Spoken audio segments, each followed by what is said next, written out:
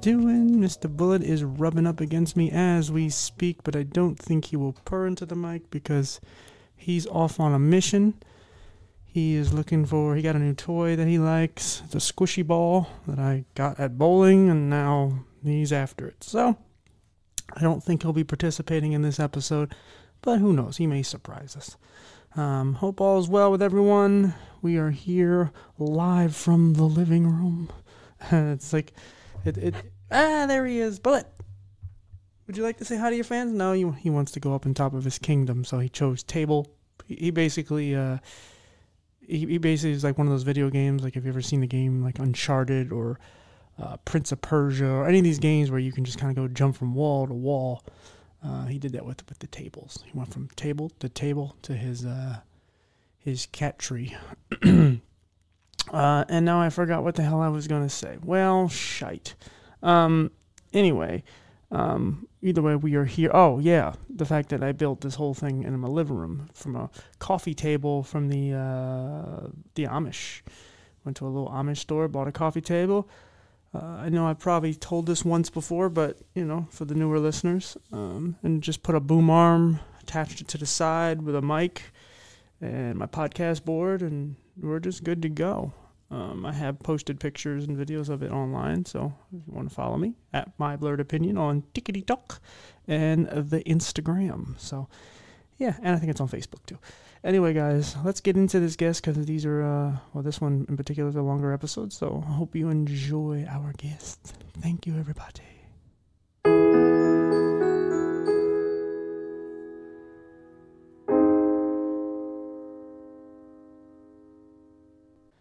All right, everybody, we are back here.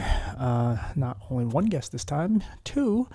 And uh, I met these guys on Facebook. I was introduced to some Facebook like group chat and people were just posting stuff. So I just randomly threw in the podcast, and if anybody needed someone to talk to, I'm there. And a few people reached out, including uh, this one person on here, um, Dave, and he, uh, you know, started telling me his story, talking about his daughter and his own.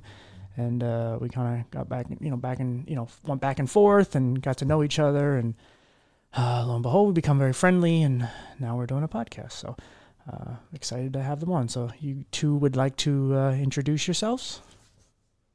Sure. Uh, my name is Dave, and uh, I'm the father of Paige.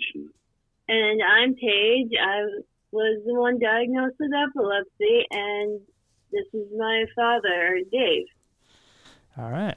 Um, yeah, and so I, you know, I just kind of before we get into it, so we're gonna kind of go into Dave's story for a little while, and then we'll get to Paige. But I wanted to say because you know when I met them, you know, obviously got introduced to Dave, and you know, nice guy, and and just was so you know nice, humbling, and just nice to hear someone else's story and everything goes through because he's pretty upbeat. Uh, he's got this like manly thing to him, and he's kind of he's got some like aggression, but he's all it's all good. He's very friendly. Um, and then you can tell he's just been through a lot. And then Paige, who's just kind of just just sweet, like wholesome girl who's been through a lot, but she handles things her own way. And you know, I offered her friendship because you know people like us we need it, especially at certain times, and life can be very challenging. And um, you know, that's why I love doing things like this because um, you know it's always good to help people, you know, cl- close or afar. Um, and these people actually live not too far from me, so it's good. Um, but anyway, um, yeah, Dave. So where do we kind of? I guess we kind of start with you, and you know, whatever, however you want to get into. Whether you want to talk about the accident, before the accident, just kind of what made you you, and you know, kind of uh, you know, the change and everything. Okay. Um, originally from Pennsylvania. Um, I grew up. Uh, started off down the Lehigh Valley, and I was living in. I grew up in an orphanage, and when I turned 18. Um, the system, foster care system, uh, gave me a taste of reality. Uh, I became homeless, 11th grade. I had a friend that lived up in the Scranton area. I, I stayed with him until I graduated high school. I enlisted in the Marine Corps, planning on that having that as my career. But uh, fate and destiny uh, took me in a different direction. I um, well, I bought a motorcycle while I was in the Marine Corps, and uh, I wound up destroying the motorcycle. I rolled the motorcycle. I broke my back and hip and pelvis. I shattered that, um, held together by a bunch of metal pins and plates. Wow. Day one life's lottery. truly, I've never had a bad day of life since then. I've had rough days, but never truly a bad day. Sure. I can walk. I, I can feel most of my leg and feet and toes, and I, I, I beat the, the other options. Yeah. Um, Took it Yeah. probably took you a while to get to that point mentally. I mean, but you could. Yeah, I went through a lot of dark places, and um, when I was in the hospital, I told telling a story about what I was going through while recovering and, and the low point, and the morphine addiction, the morphine they were giving in the hospital. Man, that place that truly wreaks havoc on your mind in, in ways that only if you go through that you can understand. and then Sure. when they pull that morphine away from you and you're at a low point when you're in that rough condition, it, oh my gosh, it's it's a horrible, horrible, horrible, horrible thing. I Yeah. wish upon my enemy. withdrawals yeah um yeah because some of that medication feels so great and then you realize how dependent you're on it when they pull it from you and you're like oh my god the Yeah, crash is oof You, I didn't realize how bad uh, shape I was in. I was in the ICU for almost a month afterwards, Mhm. and uh, uh, that's where I parted ways with the Marine Corps. Um, I was no longer able to be an infantry Marine, and uh, so I wound up becoming I mean, um, uh, admin separated with medical, um, in the medical. sure and uh, it was at that point I, I'm 19 years old. Um, I can't walk anymore. I can barely stand. I can't even stand anymore. I can't still can't stand. Now. I'm almost 50, and uh, I uh, was back at my mom's orphanage, my foster mom's orphanage, living on her couch. Hmm. don't have too many options to, to, to you know do things in life, but um, pulled myself out of, a, out of a low point there. Met Paige's mother a little while later. Didn't work out too well for, for her and I, but uh, I wound up Paige is the best thing that, that truly ever happened to me in that respect. Um, I got custody of her when she was about four and a half years old, and she's literally been at my side just about every minute of the day since then. Uh, she never, she's never more than, you know, a stone's throw away from me at any given point. sure. No uh, one of the things i wanted kind of was getting at is like what is it like for because i've asked this before and you know i've had to ponder it myself. Um what is it like to mourn like a part of your body? Because like for me it's it's a surreal thing you don't realize you're doing it at, at, when it's happening. And then when you look back on it you're like man that's just it's it's kind of dark it's sad.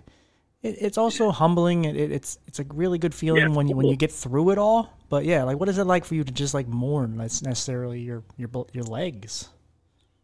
Oh, I, you see, that's where my blessing came in because I, I wasn't, even though I was in the Marine Corps, I never really liked exercising. I never liked running. That was never really my favorite thing to do. It, it kind of worked out in my favor that I, I, I of all the, the conditions and, dis- and ailments I came down with, um, I can still walk.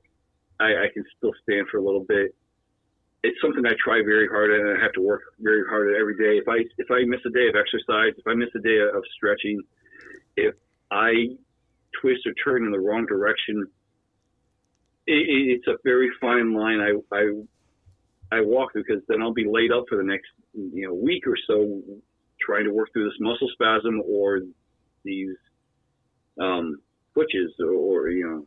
Uh, spasms are the worst thing I can call them, but they, they're they're spasms from hell where you can see your muscles actually. I think there's videos of them on YouTube where you, you can see the muscles looking like uh um, waves on an ocean, and Wow. that's a real thing. I, I should get some video of that on my legs. it's quite the thing to see. It's very disturbing seeing your muscles do things that you're not controlling them to do. Yeah. But- Like I tell people all the time who are like going through stuff like that because we we we don't get to see that.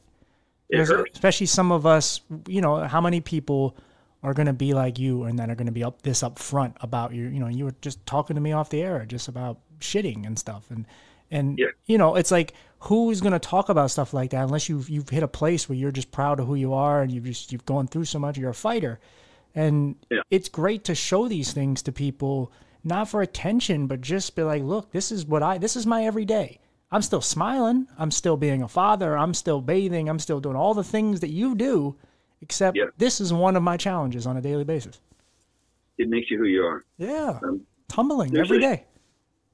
There's a Shakespeare quote I don't want to butcher. I think it's from Shakespeare, but it's literally everybody and everything has a story, and every story has an audience waiting to hear it, if not now and at some point. It's, it's some kind of Shakespearean quote along that line, but it's the absolute truth. Yeah. Everything around you, the the chair you're sitting on, the the floor underneath you, the ceiling above, the, the plane passing overhead, they all have a story to tell. And there's an audience waiting to hear that, or somebody that can empathize, that's waiting to, to relate to that story you're telling. Yeah. Sure. Absolutely. Yeah. It's like I said. I every day I wake up and I have to just let my eyes fluctuate until it gets to a point where I'm, you know, when I have a good eye day, that's the thing, and I'm, I'm sure you have different days, days. Yeah, you have days where that are good days, but good days for you are bad days for other people. It's my good Yeah. eye days are not good eye days for you, but they're great eye days for me. I love them. It help. It makes me smile. I just enjoy, you know, my day more, and my mental health is down. And um, but like like I said, it, it's it's humbling every day. There are days where I kind of go ah, like I don't say it, but I'm like ah, I'm not legally blind. I'm good. And then I go, no, this is just this is just my norm. But like my eyes are still really messed up. But um, I'm good. I'm okay. But it, like you know, it's not you know. Years ago, it was like, oh, this sucks. I just want someone else's eyes, or I want to die, or whatever. learning how to again. Yeah, that, that was at my low point. Um, Yeah, and then getting back up to the point where I can take a few steps, and I actually, I, I, I do a little strut. I, I can walk in Walmart. I have to have, I walk with my, like I I, I don't let on to most of the time if I can help it. If I have to go without my crutch, I'll use the the, the cart at Walmart as my my cane, and I'll make sure my wife's within a few steps of me. But every so often, uh, I'll get in a stride. I'll take like four or five steps, and like I'll notice like, hey, I, I didn't have too much of a limp there. I, I kind of looked normal for a minute, yeah, and then it, and then I feel that twinge in my spine. Like, wait a second, you did what now? get back to get back to limping here, Dave. exactly. Yeah, I, I had Yeah. this. I had this moment the other day, and I can laugh about it now. But I was playing around with the vacuum, about to. I was unwrapping it from those little things that you unwrap it from in the back, and uh, the the cable. I guess it just was going too fast, and the prongs hit me right in my good eye, and Oh. all I could see was light. Like now, I know what it's like. What people only see light perception. So I'm like, holy shit, this is this is. I was panicking. Well, of course. And because again, if it would hit me in my bad eye, I wouldn't have cared. I would be like, wow, that sucks. That hurts. Um, but I was freaking. I put some eye drops in. It started to go away. But then I start seeing white flashes and all these things. Thank God it looks like everything has come back to normal for me. A little panic attack and thinking how lucky you are now, and like, yeah, am, am I coming back from this one? Yeah, but but to me, it was like what what I've come to now to thinking is like, oh, like that was that was life going. Hey, don't get too happy. Stop singing whatever song you're singing. Stop bouncing around like, oh, life is just jolly. Nah, this was just a this was just life. Just put me in check for a second. Going, nah, just forget. Don't forget this could happen. You know, that's why I stress to people, even people who have disabilities, like you're not like now opposed to like, having any other disability. You're like I'm visually impaired. It doesn't mean I can't be in a wheelchair. It Yeah. doesn't. It's you know. It's not like that. It's not like oh, I'm impervious to everything else. No, I can have anything else. It's it's, it's very possible. So that's why I try to, I, you know, I try to appreciate my life. I try to appreciate what I have, and when I interview all these different people, it's like I have two people on the phone right now with two totally different conditions. I'm happy that I don't have either one of those, but I'm I'm also like, you know, but I'm. It's not even like oh, the, oh, you know, well, I'm just so happy because I'm glad I'm not as bad as those people. It's just I have issues and I don't want other issues, and it makes me grateful that you know, like I can walk, right? I don't have seizures. You know, as I'm sure for you, it's like you're glad you don't have vision problems. hey, you gotta be an optimist. I- I'm happy for what I have and- and grateful for what I don't have. And it, I am I'm fortunate that I do have my senses, that I can have the feel of touch, and I, I, I don't have Paige's affliction, and that I'm only afflicted with this. What, what gets me? I see, uh, what I call these, I don't even know what to call them, but people that do self harm. And like cutters and stuff. yeah, and they they the people that do the the, the ultimate unthinkable thing to themselves. Uh, you know what I'm alluding to. Right, right, yeah. No, you can say it. It's fine.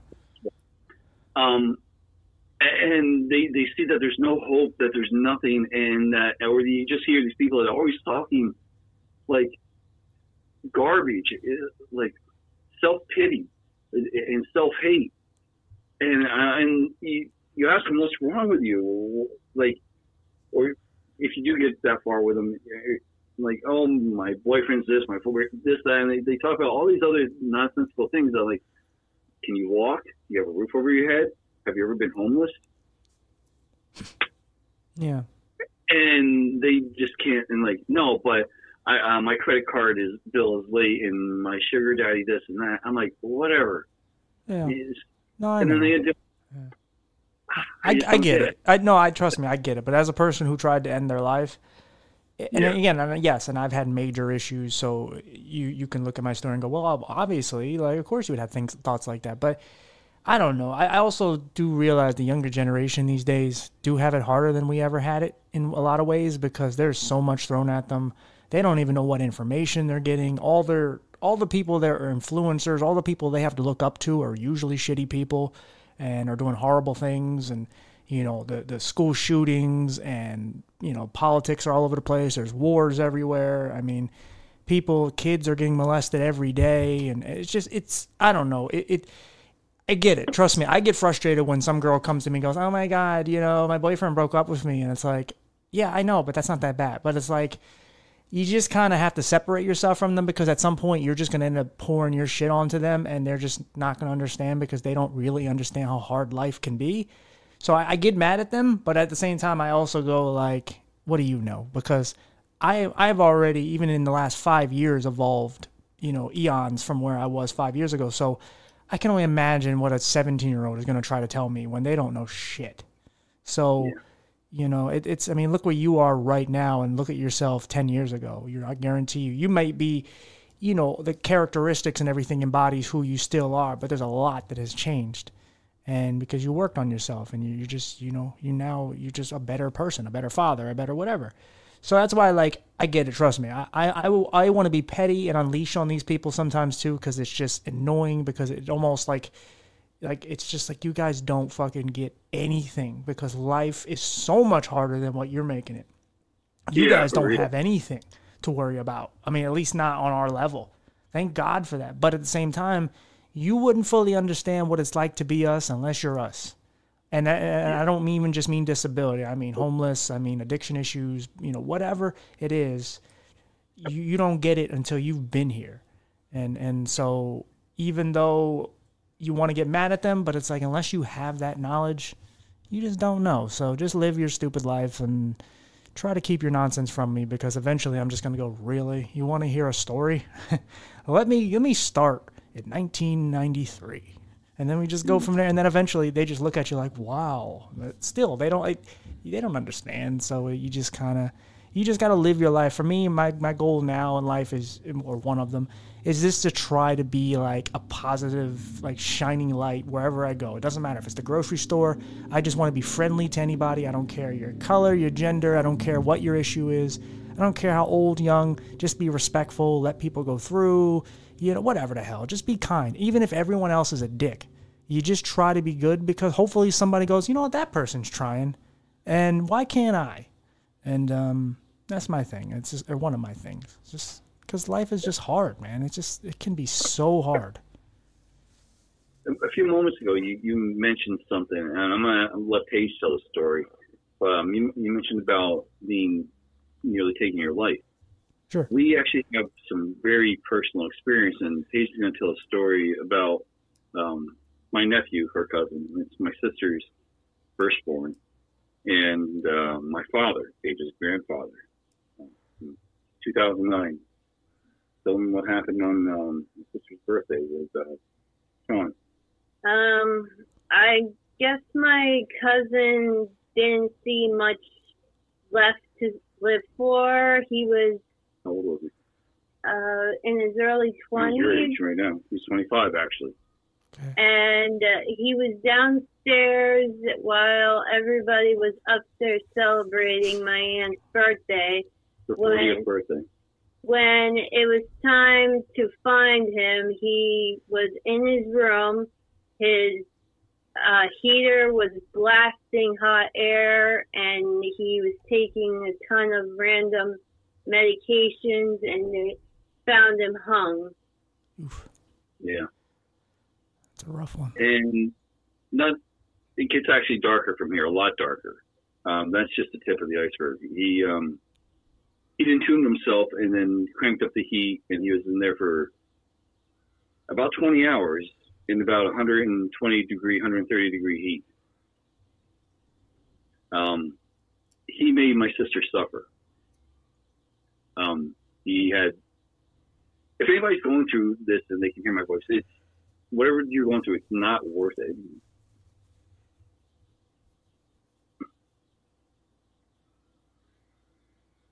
You know, he, he was just, you know, talk. Well, my father was also going through some issues, and uh, three days later, he did the same thing, same way. Wow.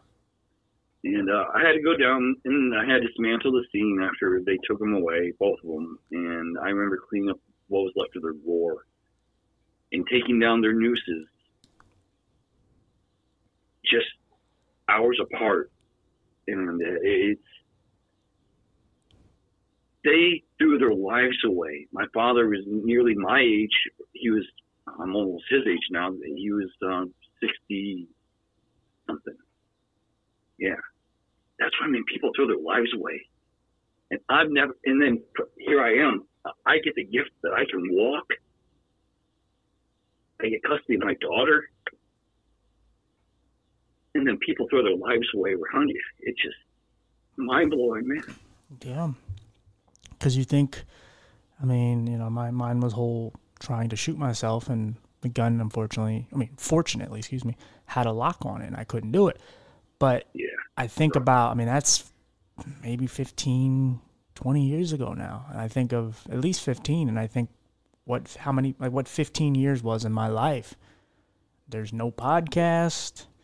You know, there's a lot of experience that I mean, there's just all the advocacy and just finding myself and getting into shape and, and just all the things that I've experienced and just relationships and friendships. And, you know, at that point, I didn't have any friends. Now, I don't know. I couldn't tell you how many friends I have now because I have a lot. Yeah, Um, really. You It's a permanent solution to a short term problem. Yeah. Whatever you're going through, worth it.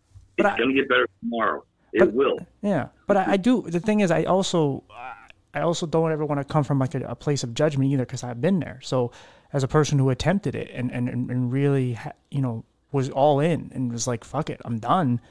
Um, Yeah. I'm- I'm- I'm happy that I, it didn't go, you know, didn't go through. But, you know, like I said, I do for those who maybe are at that place right now or close to it. Is like, look, I, I fully understand. I ain't making fun of you. I'm not, you know, I'm just saying you have to. That's why I always say, find whatever, whatever. Now you have a daughter, so that's like a huge thing. But like, uh, there are people who don't have kids, don't have friends, don't have any. If you have an animal, you have, you know, an album coming out next month that you want to hear, whatever. Find something to keep you going, just at least another day.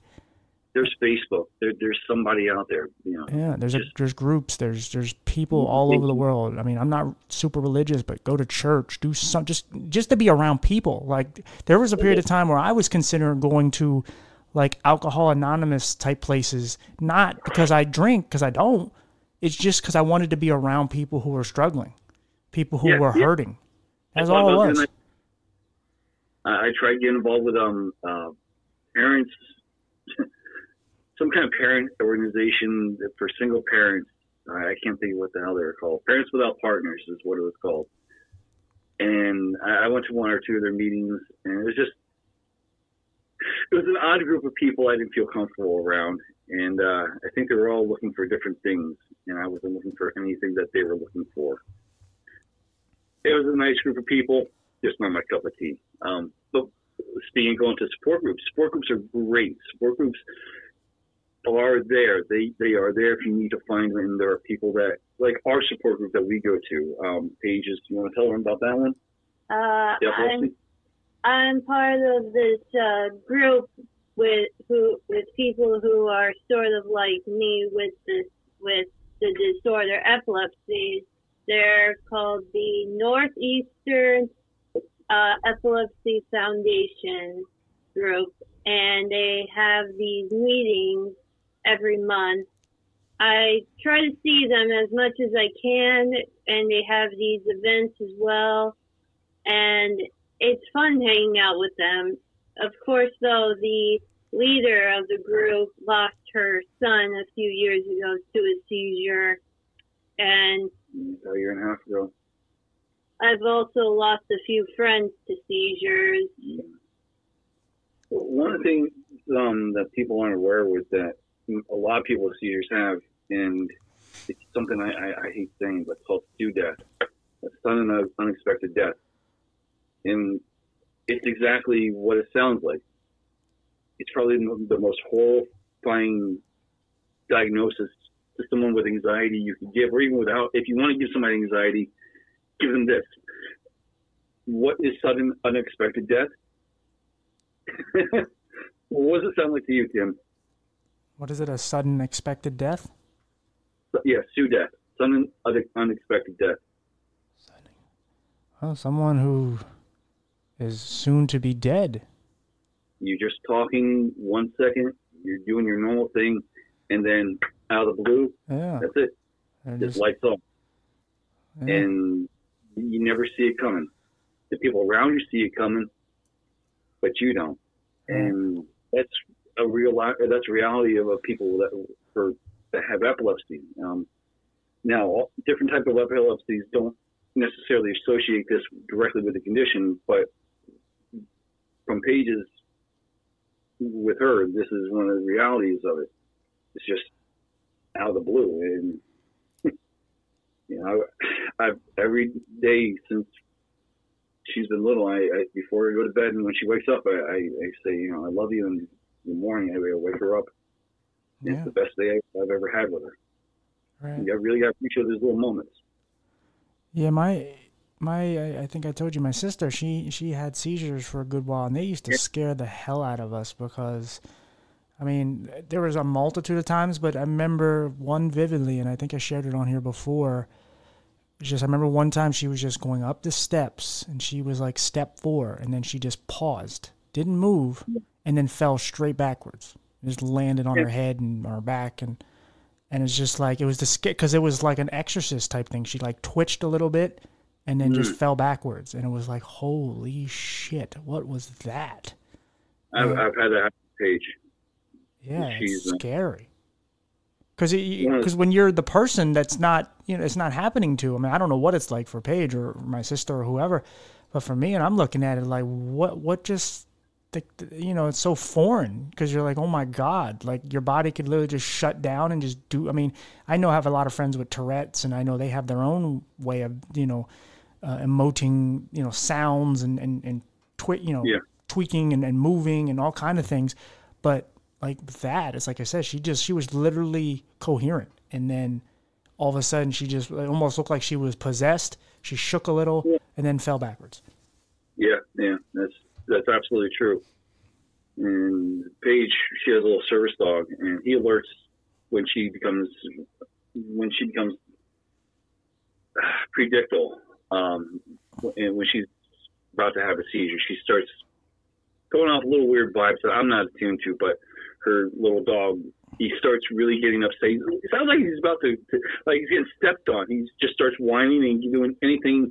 He'll start running back and forth, to, looking for someone, just all while pulling, you know, going back to Paige, watching over her. And when, you know, he's when he does bring someone to her attention, he sits on her, and you cannot get him off.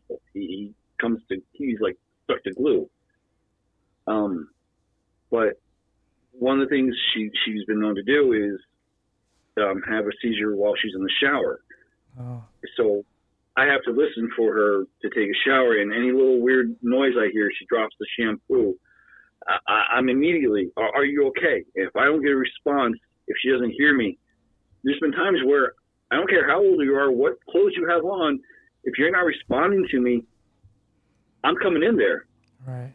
And that's the reality of it. You have to be, it's like having a, a, the responsibility of a two year old. Sure. I mean, you can't you can kind of leave them out of your sight for a minute or two, but when you don't hear something, it starts to make your when you hear something, it makes you worried. When you don't hear something, it makes you worried. Sure. Actually, I wanted to yeah. ask Paige something because, like, yeah, yeah. No, no, you're you're fine. No, because it just it triggers some for me because as a person with a vision problem, you know, my parents have been my mom specifically has been very overprotective at times. Not much now that I'm an adult and I live on my own and stuff, but you know, she would you know constantly be like, "Oh, can you do this? Can you do that?" And it's like, "Mom, just back off." Now, in your case, it could be a life or death situation, so it's a little different. Um, yeah. But yeah, for Paige, like, what is it like when you do drop the shampoo bottle or or something, and you're not having a seizure, and your dad bugs you, and because you don't want to think everything in your life is about a seizure, but at the same time, it could be, and you know your dad means well. He he loves you, and he, he's just being protective. But there are times you're just like, Dad, back off. Like I literally just dropped the soap. It sometimes stresses me out. Get remind being reminded of it. I, and I know he's just trying to look out for me. He's trying to be there when I'm at my weakest state. But there are times where I feel like he's being a little overprotective and that he needs to know that I am going to be able to try my hardest to get through this. Sure. Is it like is anytime you drop something like like he's talking about in the shower, like if you drop the soap, do you immediately just get anxious knowing he's about to yell? I actually stop him before he even oh, okay. says. like if I drop something, if I make a loud noise, I'm like, like Dad, don't worry, I'm not having a seizure. I'm okay. I just accidentally dropped it, and he's like, Oh, okay. Thank you for letting me know. I got you. Yeah, because that's something I say a lot. That a lot what we struggle with is independence. And you know, you're tw- you know 25 now, and you still live with your dad, and that's perfectly fine. You have logical reasons for that. But we we struggle so hard to find independence, and when we sometimes have to, like for me, I can't drive, so I have to rely on someone to drive me places, unless I take yeah. transportation. So it it's hard because as a tw- as a 35 year old man, you know, I'm trying to be like, yeah, I I pay my own bills because people don't expect us to do these type of things. And so when we accomplish stuff, because our ceiling is so low to the world, because it's like, oh well, you do this, so you know, you're this, so you can't do that. and it's like, no, not necessarily. There are things I can't do, like I said, driving. But you know, yeah, go ahead, buddy.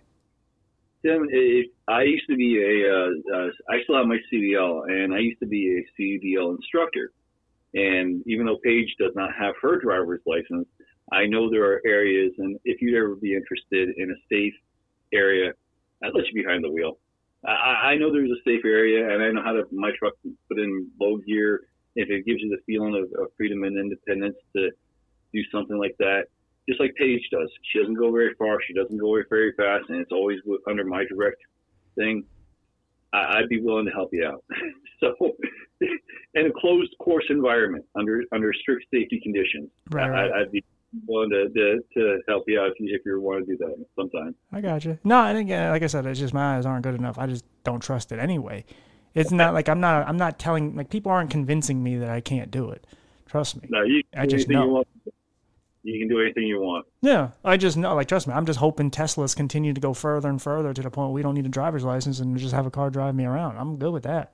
Um, oh my god. Yeah, I'm, I still, I still don't like driving. yeah, I'm good. Instructor, and I hate driving. Oh my gosh, I hate the people on the road. It's not my driving don't trust; it's everybody else's. Right. Everybody, everybody else, I did not teach. sure. No, I mean it is what it is. I'm just hoping that continues to advance, and someone just says, "Yeah, that's okay." Like, just eventually, they're just going to be readily available for everybody, and visually impaired and blind, or people in wheelchairs or whatever, can just get in them and go wherever the hell they want, and they can own one, and they, they just it drives them places. Freedom uh, What that, that's what I want to ask you. Someone with, without sight, like sight is so much a part of driving. I can drive without hearing. I can drive without say without smell or taste or, or you know the sense of touch, but you can't drive without sight. And with me, as someone with anxiety and who has a bit of OCD, how the hell do you do it? Just get in a car and feel the sensation, to feel the momentum. What's go, what goes through your mind? Well, because I can still see some that helps, but also, I don't know. People like me who have tapped into it and have adjusted, we become more aware of our surroundings. Now, cars are different because you're you're constantly moving, but I, you know, when it comes to walking and running, I rarely run into stuff. I rarely trip. I rarely, rarely fall because I'm got you know even though blind and visually impaired people our balances are off especially if we, we bend over we look a certain way. That's why like when i'm on a treadmill i always hold on because sometimes i get overly confident and i realize oh that's right my balance is kind of a little bit off. But even though it's off i usually don't fall. Um, but yeah as far as being in a car i mean it's just you know and it, because another thing is now usually when you're you're in a person's car who you know like someone you love and you're around them all the time you just kind of go along for the ride. But there are times where you're just like, hey, like I want to figure out how to get back from point A to point B and, you know, not get lost and you just, you know, start tracking and you look for landmarks and things and um and whatnot. But overall you just you just like I said, you just for me, like I said, because I can see some, I can look out and go, okay, there's that blue house and there's this and so you just become aware of your surroundings and you just get used to things and you just kind of go along with it. So my million dollar question is have you ever been in a car accident? Has someone ever hit? Has someone ever hit the vehicle that you're riding in, or the driver that you're riding with lost control or struck something? Yeah, I've been in one. It wasn't really bad, but I've been in one. What happened? If you don't mind me asking, tell no, me no, no, you're good. You're good. Um, I, I'm trying to remember. I remember because my mom's boyfriend at the time, which was my sister's dad, he he used to always like ran. I mean, like every year he would just have like a new sports car, like a, a Mustang or something. And we had this like low end like Porsche. And then when you're in Philly, it, I don't I don't know what it's like now because it's been a few years. It's been about eight years since I lived there, and I know it's gotten worse, crime rate and stuff. But there was always oh. times where like the Fast and the Furious thing existed, where you literally would go and and wrestle or wrestle. You would race for for you know pink slips, and you know people would have hydraulics and and, and nitrous in their cars and whatnot. Anyway, but it, it wasn't far fetched for somebody to pull up next to you and go rum rum, and then just that that's their way of saying you want to race. And because we we were in like a, a faster car, we said fuck it, and we were racing and somebody just kind of sideswiped us. Now it wasn't terrible. It was a light sideswipe, but it was still like we spun a little bit, and it was nerve wracking, of course. Um, but it was it jolted us, and it was like holy hell. But like me personally, again, I was really young. We were just we just got some food that I was really hungry for. So it was like it was like for a second you're like holy shit, what happened? and now then it just becomes all right. Can we eat? so because I was like 13. Um, you didn't really too much. He had nothing else in, in life to compare it to. No other, no other true horrors. I mean, other than yeah. your, your. No one got hurt really. I, I don't know yeah. what happened to the driver, but on our end, it was three of us in the car. No one got hurt. It was more nerves, maybe some whiplash. Um, you know, the car got a little beat up, um, but you don't care about it if it's not your car.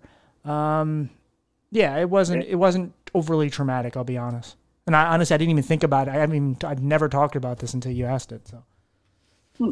Yeah, because one that's one thing that affected me is I lost control of my motorcycle, and then I ended up getting a job at, at, at ultimately driving a, a, giant piece of you know eighty thousand pounds, seventy five foot long piece of equipment, and I would go in and out of New York City. I know Philadelphia and New York City better than the back of my hand, and I'm driving in and out of Jersey, and, and being a big rig that never really bothered me, even hauling like hazardous material, and but I I'm a horrible passenger. Hmm. I cannot if I'm in the passenger seat of I, if my wife drives, she drives when I have to go to the hospital. That's about the only time she drives. Okay. Um, or if I don't need the vehicle, but I have to drive. I, I'm a I'm an absolute horrible horrible passenger, and I will sit there white knuckled looking at the speedometer like I was judging someone on how to drive a, a, a CDL, a tractor trailer. Yeah. And my heart starts pounding through my chest when I see people cutting them off, and, and it, it, just really I have I have severe panic attacks if I'm a passenger. I, I, I that's one of my biggest fears. Hmm. Yeah. yeah. Being sighted. I kind of almost wish I, I do get to the points where I close my eyes. Like when I'm going to the hospital, I, I, I get kidney stones once in a while. And my wife has to take me to the hospital for the bad ones. So she'll drive down, and I clench my eyes, and I, I try not to listen to anything, just the hum of the engine, because I'm afraid of just going for a short, you know, three or four mile ride down to the down to the ER. Yeah. No, I, I don't know. And this is just me thinking out loud right now because again, I never really talked about being in a car really, but I'm not saying it's not important because it is because I, I find that very enter, entertaining and just very interesting on your part because you know it's, it's weird because you've already had like been paralyzed and whatnot, so it's like you're kind of worried about doing more damage, which understandable. But for me, it's more like I don't know. Maybe it's just because I'm overly grateful to be alive, and I'm just like, I don't want to say that I'm on borrowed time, but it's like Yeah. I've already seen near death, and I'm not saying I don't want to die. I want to die, or I even want to, you know, have more severe damage to myself because I don't, because I am kind of a hypochondriac, or at least I'm, I'm on the on the borderline of being a hypoch- hypochondriac. But Hey, You're, you're just a little more in tune with your health. I guess, but yeah, but I'm also just like, I, you know, because I've gotten my grandma's not the greatest driver anymore. She's getting older. She's 91. Oh but oh my like- gosh. but she still drives, and she's still not a bad driver. But she has moments where she's not paying attention, and it's like, but there are, it, I, but I should be freaking out, and I just have these moments where I'm just, I'm just chill, and I don't understand it at times. But I, like I said, I, I just, I kind of attribute it to just nearly dying, nearly almost killing myself, and then having a lot of horrible other things happen to me, and I'm just kind of like, well, it's not that stuff, so. I don't know. Life's still going on, so I'm here. Um, but again, I haven't had that one moment that just, if I had a really bad car accident or I watch someone die in front of me, even if I end up okay, I, maybe I would be in a really bad situation mentally when it comes to that. I don't know. It's hard to tell. Like I said, life affects us, all of us differently. Yeah, the cause of my seizures and epilepsy was through a car accident with my birth mother when I was little. I she was drinking and driving one night and she did not buckle me in correctly and she crashed into another car and I smashed my head against something hard. I think it was the dashboard. I cracked my skull and I damaged my frontal lobe. So, did you have a traumatic brain injury?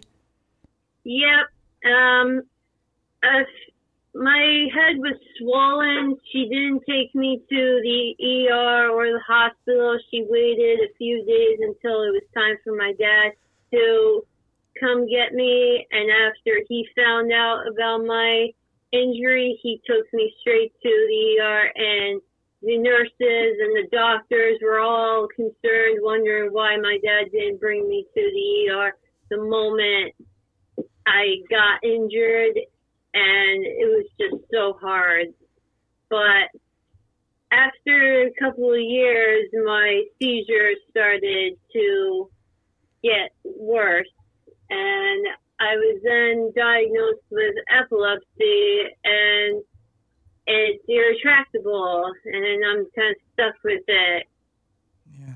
No, I have quite a few friends with traumatic brain injuries, and they all have something different about them. And I had to go get brain surgery a few years ago because apparently the medications I was on over half of my life were apparently making my seizures worse, which was a complete lie.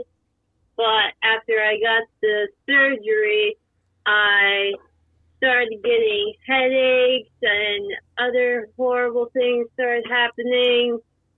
And I was then telling my doctor who I had back then that made me get the surgery about it. He called me a liar and then he called uh, Adult Protective Services on me along with the police and I was put into the hospital for a few days and they took my custody away from me and I was uh, county arrested for a few months and a lady from Adult Protective Services had my custody, and she was just a nightmare. But eventually, after that couple of months, I got every my custody back, and I still have the uh, device that I had implanted in my head still there, and I'm planning to have it removed. But for now, I'm trying my hardest to always look on the bright side and never uh, back down, just like the song. Yeah. no, you have to. You just do. It's. I mean, it, it, I, when I go through things now, it's it's now more. I look back at what I have been through in the past, and I compare them, and I go, ah, it ain't that bad. Even if it is, it's not. It's not pleasant, or it's not something you know that's ideal. Something that I would like to be enduring, but you know, when you compare and contrast to your worst of times, it kind of minimizes everything that's happening, and it kind of takes the bottom out of it and goes, okay, we can we can handle this we can handle this because it's it's it's not whatever it is that's happened to you before. You know, it's not that car accident. It's not that procedure. Um, it's not all that you endured. You know, with your mother or maybe bullying in school or any. It's it's it's, it's not that. So this is doable. This is very doable. Yeah, you just gotta look on the bright side of life and uh, never ever ever back down. Just. Uh, never give up. Just uh, continue living your life at the fullest and always uh, no, say to yourself, it could always be worse. Yeah. I mean, and, you know, you have a perfect example of someone who's doing well and thriving with a disability in your father. So it's like you have an example of someone who, you know, we won't compare whose life is worse or anything like that, but you look at someone in his shoes and you go, that's rough. And it's look how well he's doing. You know, it, he's still able to do all the things he's doing with that. So yeah. if you get down and you start um, feeling sorry for yourself, and again, you have every right to do that at times. But if you were to just give up on your life and say this is done, it's like it's almost like like an fu to, to people like your father because it's like man he is a perfect example of someone who's just an awesome person who's thriving.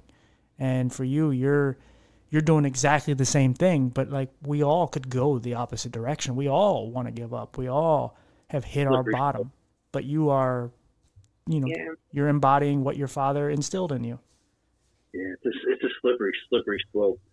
If if the let's say the hospital, if I'd stayed on morphine, if I'd chosen that path in life, or I'd become addicted to alcohol or some other substance, or if Paige hadn't come along in my life, I, I don't know how I have the, the or why, but it, it's that's a forethought in my mind that uh, be grateful for all the little things you have and all the people that make up your life for who you are, and man, just just be grateful, be humble humble yourself and but stand up for yourself. There's there's a fine line to walk there between being humble and having a backbone to stand up for what you believe in and take the initiative to do something about it. Like tell you about the signs. Yeah, did we tell you about the signs? Uh, Not on here, you didn't know. But I just want to say before you do, like like I said, I think that's what makes your guys' relationship so great. I mean, yeah, daughter and, and father's relationship is very special, um, but because of where you both have come from, what you both have, and you know what you both have experienced on your own and together. It, it, it helps you to kind of balance your lives out because you know damn well, Dave, like, you know, you could have your worst day ever and want to give up, but you have her pretty face sitting there looking at you like, what are you doing, dad? Like, the hell? Like, you, I need you. And vice versa. Yeah. You give up, then you fail her, and you know, I know that's the la- There's probably one thing, and I don't know you that well, but I I, I can kind of infer. I would imagine there's one thing in this life you don't want to do is disappoint her. You're absolutely right, and that that's that's the, the truth and heart of the matter. But there's one thing a lot of people don't understand, and this is probably the truth more than anything. There's a reason why I can understand why Homer Simpson wants to strangle Bart Simpson sometimes sure, of course. Yeah. he doesn't love them. It's just that, my God, there's only so much a human being can take. right. I get it. Trust me, I get it. I, I was a pain in the ass kid, so I understand. Yeah, but there's the episode where Homer, um, he why he goes to work, and Mr. Burns hands him at the end of the episode. It's an older episode. He hands him the plaque, and it reads, um, "Don't forget, you're here forever." But then um, Homer covers it up with pictures of his kids, I think of Maggie, and it reads, uh, "Do it for her." Yeah, mm-hmm. I mean that's really the end of it. You're doing it for someone else. It's yeah. I haven't chosen this path in life because it was easy for me. It's because it was right for her, and I didn't want her to have a repeat of my history. Sure. It, that was I, that's the simple of it. I didn't want my kid to repeat the shit I went through. And that's my driving force. Right. Kind of, my parents were, were such scumbags, and they didn't. Maybe I'm glad that you know, for whatever reason, they they did what they did and made me a better person. I like to think of it at least that way. Give them credit for that at the very least. Yeah, and your goal is to kind of make this place a better place. So you're trying to do what your parents did wrong and teach her what you did wrong, what her mother did wrong, and then hopefully she could take what she, you did wrong and what she did wrong, and you just keep passing along until hopefully, hopefully, this world is a better place. It breaks the cycle. Yeah, be the change you wish to see in the world and make it happen. Exactly. Take the initiative to do it. I, there are days where we do we do talk about her mother, and we're we laugh at her. We feel sorry for her because Paige is such a great person. She turned out to be so wonderful and well balanced, and it keeps me in check. I, I I don't know where I'd be without her, and she she I'm grateful that I her, I get to spend all this time with her, and I feel sorry that I, I just can't understand why someone would just write they're off their own flesh and blood, write off their own child. It, people make their own choices for their own reasons. They have to do what they have to do, but I just can't understand it from my perspective. Yeah, but you also know, like like you said, passing on and, and breaking the cycle. I'm sure she isn't the only one in her. I'm talking about the mom.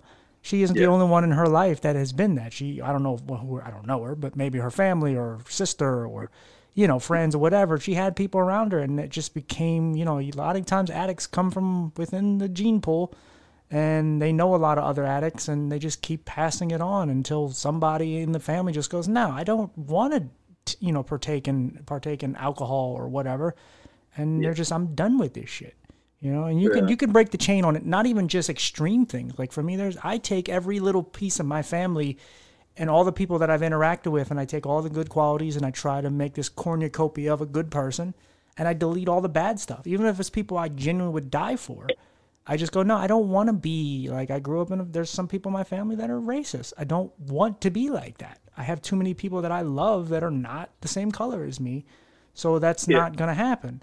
So it, it, you know, and I can only imagine though. Like I said, I, I still have empathy though for those who are who can't break the chain because they're lost and and they're essentially destroyed by whatever it is that's passed down to them. And you know, yeah, yeah. It, it, coming from my point of view, I'm still in contact with my my uh, foster mother.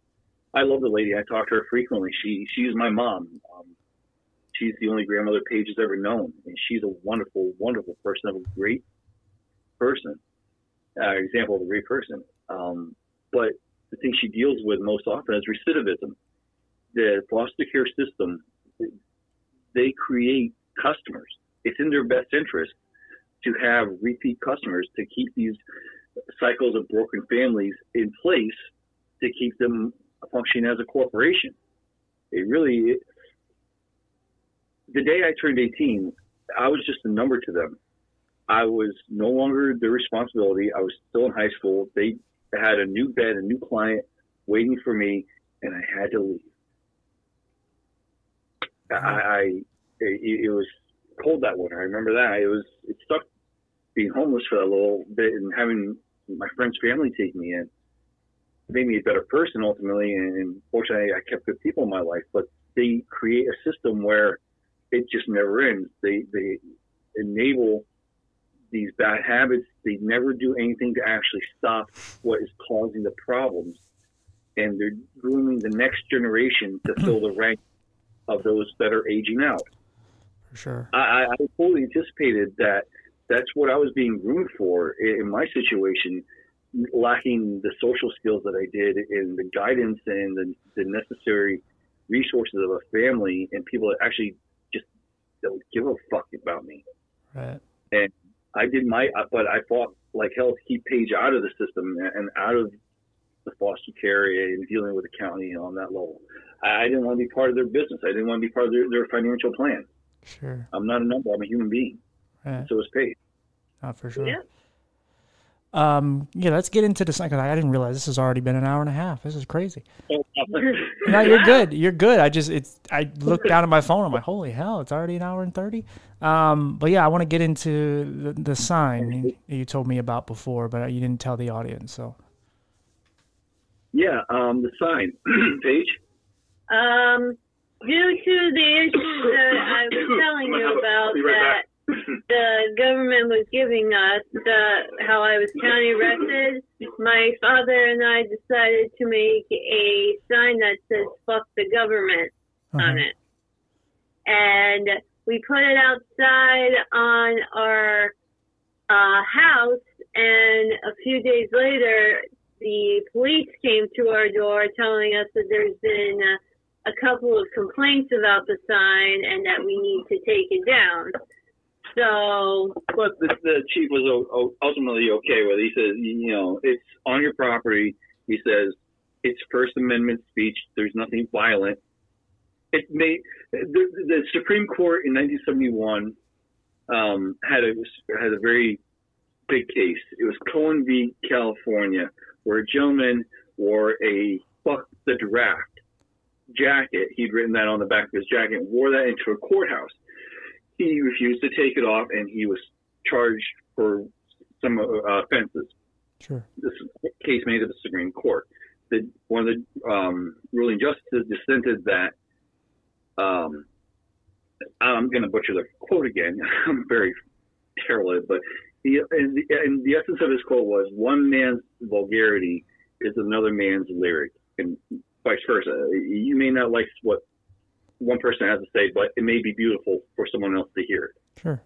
At the same time, fighting words are not protected. You know, Slanderous words are not protected for obvious reasons. Insightful words are not protected. Uh, um, you know, you can't say X is. I'm going to go kill X and O for and because they did X. You know, you just can't say that those things are, are wrong to say in any context, even or whatever. You, you just can't say fighting words. hmm But but the government is completely free. It's a blanket statement towards the government. It's a lyric we love to use. Sure. So we made a sign and um, we refused to take down. We got a letter from the zoning ordinance saying that our sign was out of ordinance. that we had to pay a that it had to be a certain size and dimension. Uh, they had to approve what we had to say before it could be submitted to council for their approval. The government wanted to charge us a fee before it was allowed to be approved by another council that would get the final approval, and that's if they were going to approve it. They, they created so many unnecessary hurdles for free speech. We, this is on the land we own. We don't rent. It's the property we own from the bank. We, we pay the mortgage. Yeah. Bank says we own it. We pay the property tax. Paige owns it as well.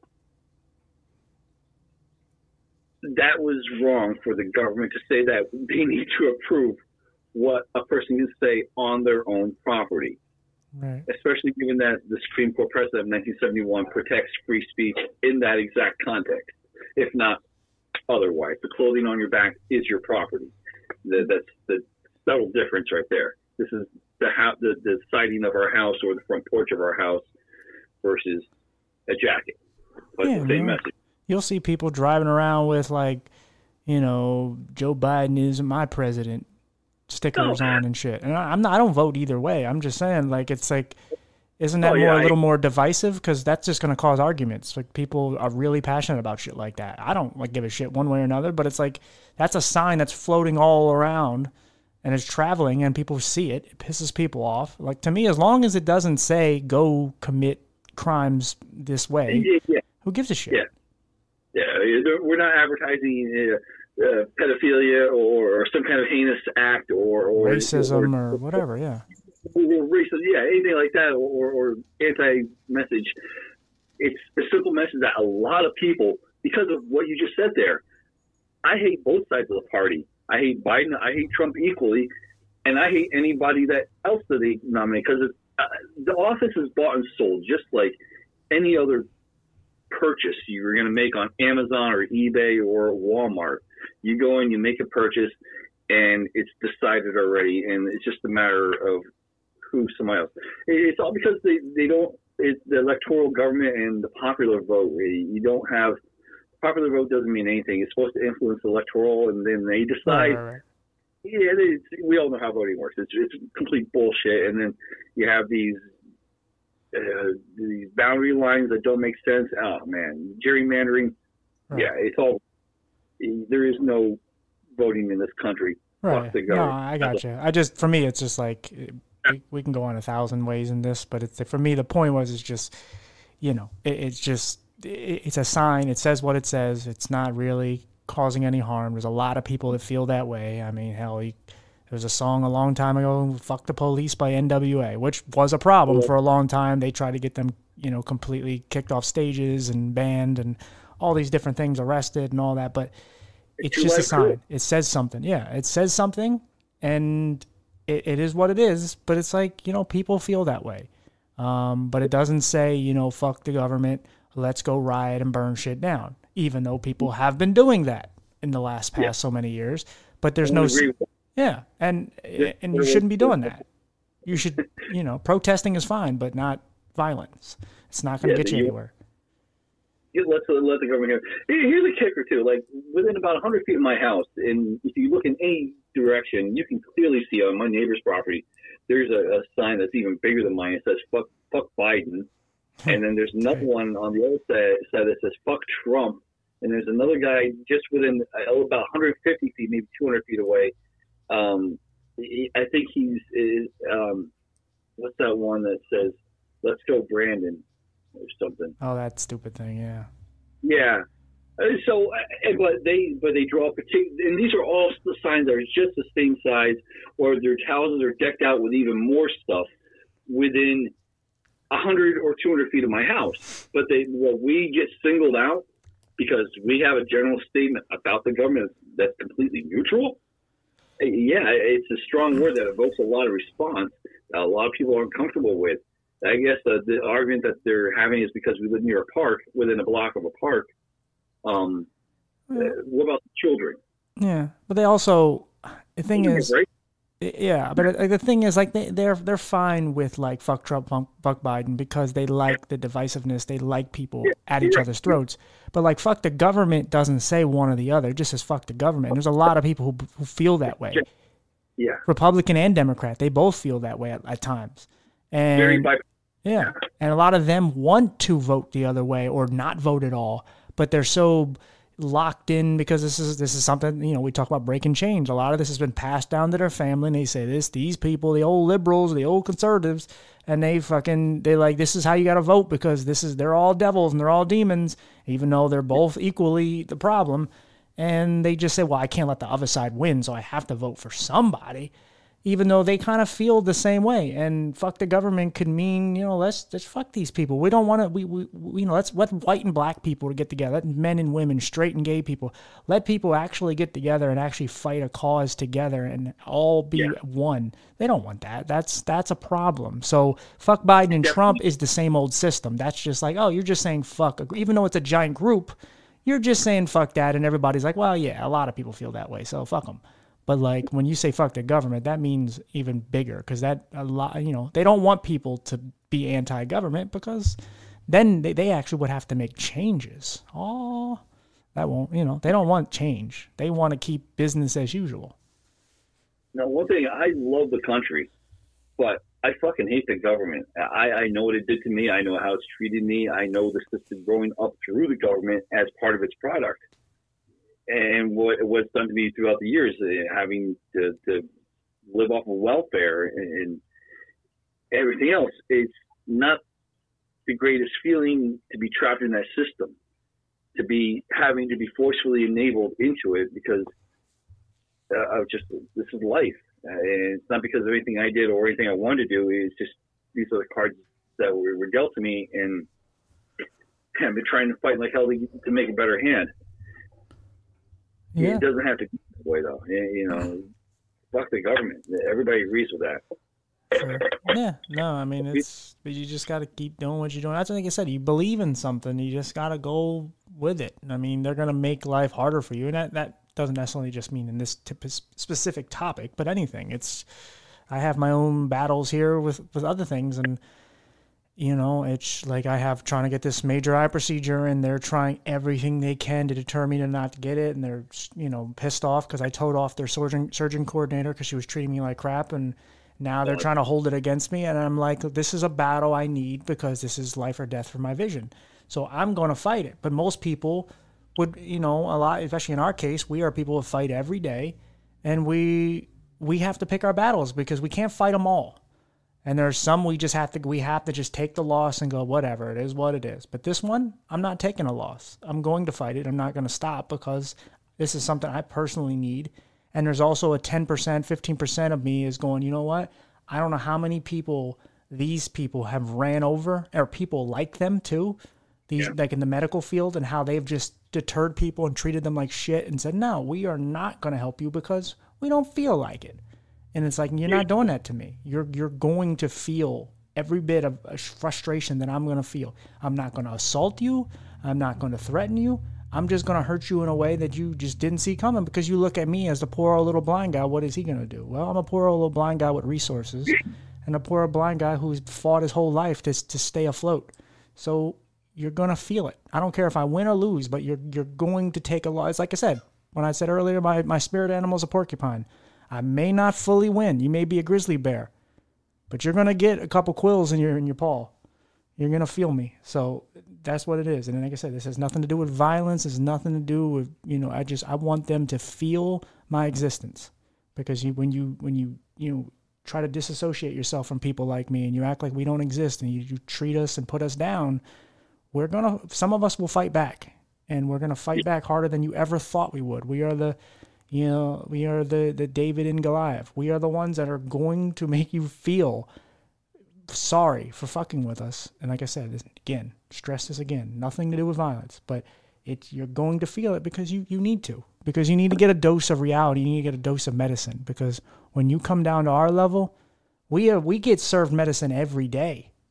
So yeah. we understand what it's like to be that. We understand what it's like to hurt emotionally or physically. So you need to come down to our level and be happy that you have these great jobs. Regardless if you went to school for it and earned it and all that, but you still have to treat people right. I don't care what your social status is. I don't care how much money you make. I don't care that you're an able bodied person. I don't care that you have a perfect, lovely family. All that is wonderful, but you should be grateful for you have that because one day a storm is going to blow down your house, metaphorically or literally, and you're going to yeah. feel the harsh wrath of life. And yeah. if you don't understand that, then you're never going to know what it's like to win in life because you're just going to be just a person floating around, not not really fully existing the way you should. And for us, we've felt the harshest realities, and every time a storm comes, we we basically already prepare to be building a new house because we know what's coming, and or we just do like the third pig. We just build our house stronger so he can't blow it down. And then maybe we lose a little bit of our house, but we go, yeah, at least it wasn't the whole damn structure. We lost the, you know, we lost the windows, but we're good. So we just keep moving. That's all it is. And and for me, you know, and like for you in this cause, it's like you just got to stay in their ass. Like just stay on them because they expect you to just go away. They expect you to give up, but it's like, why would we give up? That's one of the few things that we're good at. We don't fight. I mean, we don't. We don't well, give up. I think it's probably one thing that, that binds us, no matter what our condition is or our disability is, is that it's the resourcefulness because with you losing your sight and me losing my ability to walk well, you know, walk or walk well, and the Paige with the, the issues she deals with epilepsy, you have to be resourceful. You have to be strong enough to figure out ways around your disability. And when someone's, like you're saying, messes with you, we're, we're more resourceful uh, than someone who doesn't have to deal with these challenges. Yeah. Uh, who doesn't have to constantly think, where is my next handheld coming from? Where is my the next obstacle in my way? Yep. Am I be able to take a shower without having a seizure?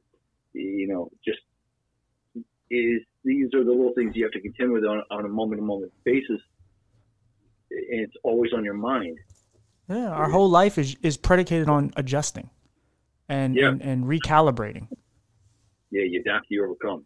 Yeah, everything. Everything is just. That's why I always appreciated that last Rocky movie, the very last one where he, it's called Rocky Balboa, and his son is just, you know, basically trying to act. He doesn't want to take on the Rocky name because he's he he, he doesn't want to be Rocky's son. He just wants to be his own individual, which is understanding. But then he starts acting out and doing stupid shit, and eventually his dad just calls him out and just says, "You don't understand. Like you're you're a you're a winner, and you right now you're acting like a loser." And you don't you don't you don't you don't you don't get how life is because like life no one's gonna beat you harder than life You're right. And- you're right. you know what i'm talking about and it's just it's such a beautiful thing and it's such an amazing quote it's such a, gr- emotional time and a great just uh, feeling in a movie because it's such a real it, it, it, one of the few movies that i really resonated with and i love movies but I was like that. That's exactly what it is because he's just telling. And this is a person he loves dearly. It's his son. He only has one kid. His wife is dead, and he's just telling him like, man, like you don't like life is gonna beat you harder than anything that I could ever do to you or anyone else could do to you. And if you if you just continue to let it, you're just gonna stay there, and it's gonna beat you down to your knees. And it's like, absolutely. That's exactly what life is. You just continue to get kicked in the ribs over and over. And if you just lay there in that position, life is just going to keep kicking you there. And if you lay down, it's going to stomp you down. It's not going to stop. It's not going to stop beating on you. There's there, you know, that's why people, so many people today want to be a victim. Well, I, I- we are three people that have been victimized, but we are not defined by the victim title. Exactly. I don't wear a shirt. I don't wear the scarlet letter. I don't wear, you know, I'm a victim on my on my chest. I am a victim in, in circumstances, but I will never let people treat me like a victim. it's one thing you know get a shot in on you. Everybody gets a cheap shot in once in a while. Hey, that's part of life. Yeah, that's cool. take and you don't have to fight every single battle that comes your way. That's the true nature of being disabled. Hey, there, there are certain fights I would love to fight, but I would get my ass handed to me. I I I, I, I, keep in shape. I'm I'm still fairly formidable looking, but I am in no way. I'm a powder puff. I I'm a I'm a delicate little flower that cannot kick my own ass. So I, I go out of my way to avoid physical confrontation, and also goes against my spiritual belief not to engage in such things. So Yeah. There are times I love to get in someone's face, especially some of these old grannies that that like to flip you off. But I'm afraid they're going to kick my ass. So Yeah. But again, back to being a porcupine. Like they just need to know that you're a problem. They just need to know that you are more than what they even if you you aren't entirely. Like a puffer fish. Like they need to just go, Oh shit, you're big out of nowhere. What happened? Like they just need to know that like, oh, okay, so even if I win, I I could win this, but I'm gonna lose an arm. You know, that's all it Yeah. is. Like it because that that's a that's a whole thing. Like that was a big thing in like Viking culture is that when you presented a war with Vikings, you would say, okay, you may win, but you're going to lose a lot of your men, and that was something they hated. They didn't want to lose a lot of their people, so they even though they were barbaric and they would like to just run through your village and, and tear down whatever walls and, and own your women and all that. But if you present them with the fact that yeah, we we may you may beat us, you may do all the things that you sought out to do, but you're going to lose a lot of your men. Do you want do you want that, or do you want to come to some sort of deal here and some so, sort of solution where we both can make out and we won't we don't lose anything? Maybe you don't get exactly what you wanted, but you get half of it. And so, you know, again, you present that with these people and you say, look, man, you may win. I don't know. You may lose. You may lose entirely. There's a risk that you can lose, but there's a there's a chance that you you may win. But you ain't gonna win without you know taking some losses. you, you, are you familiar with Genghis Khan? With what? Genghis Khan. Oh yeah, Yeah. yeah, yeah, yeah, yeah, yeah. Okay. Uh, there's a quote that is attributed to him, and I truly hold this to my heart, especially when they did what they did to Paige with the guardianship and the abuse.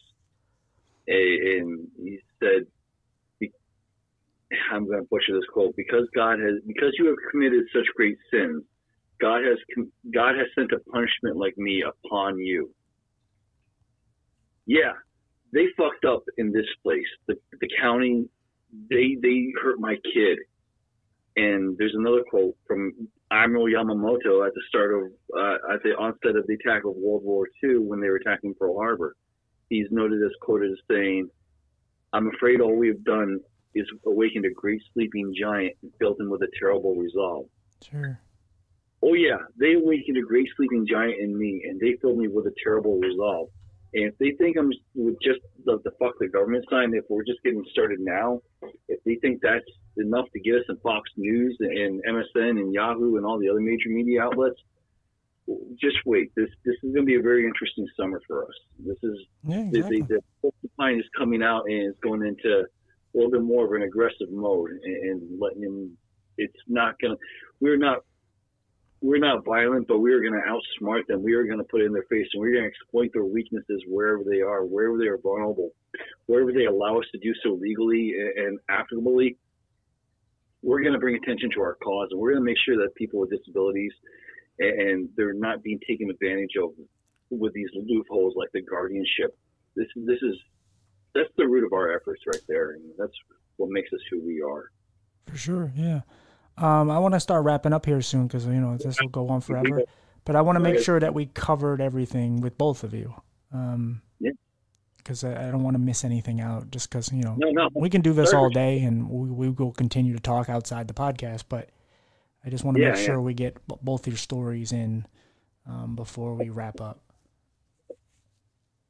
Yeah, uh, sorry for chewing your ear for so long. No, you're fine, brother. You're fine. Like I said, this is kind of hard for me at times because I just want to keep going too, and I, I have to kind of think about people wanting to listen to this, and it's like I don't really edit. I like to just let it go and be natural, and so it, it makes it hard times because you kind of you start looking at the time, and you're like, oh shit, like this is now because I've had a couple go over two hours. I rarely let it go, but it's like I get it. Like it's your story, and I, I can't tell two people to tell their entire story in in ten minutes. It's not realistic. I've Yeah. I've tried myself on other people's shows, and it's hard. So, but again, I just Yeah. I want to get the gist of your stories. I respect that. It's much appreciated. Yeah, of course. And again, we just met, and you know, again, you're building a relationship, and you just want to make sure people are taken It- care of.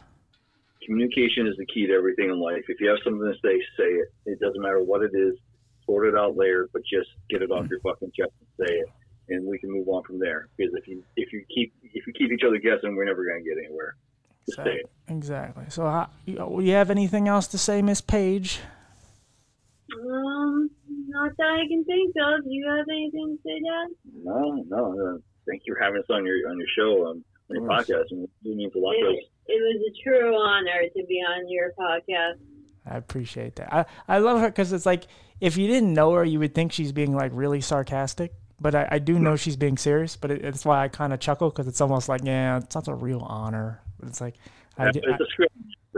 yeah, that's what happens with the Scranton. yeah, living in the valley. You know. It's all right. No worries. I, I, I know how to read into things, but it's funny because, like I said, because she said something earlier before we got on mic, and it was just like, ah, it just sounded sarcastic, but I know that's not how you meant it. Yeah, see, the, the inflections. It's the valley inflection. The other thing, with the people sound like the, uh, they, everything they sound like they're a tough guy, or they're from New York up here, Oh yeah. or they, or they, uh, everything you say it sounds like you're asking a question at the end. yeah, yeah, just a, yeah. exactly. Yeah. Yeah, that's and that's like I said. I have that with like the Philly thing. It's just you know people say you have this accent. I'm like I don't hear it. I just talk the way I talk. But you know, Yeah. there's a tough thing to Philly, and that's you know it is what it is. But that's where I'm from, and I wouldn't take it. I wouldn't take it back. I wouldn't change it. So. Um, Oh, yeah. But yeah, guys, I appreciate you both for being on. You know, I'm here if you need anything. Um, but yeah, like I said, this was fun, and I don't do too many of these with multiple people on because sometimes you, you just never know if people are going to talk over each other. But we know Dave is the dominant conversa- conversator in this uh, in this particular incidences instance, and uh, Paige just kind of sits back and jumps in when she needs to. So it made it easy. I'll jump in when I need to. That's That's all right. how. That's all right. Paige, uh, with our different disabilities, like Paige is really good at helping me with the physical stuff.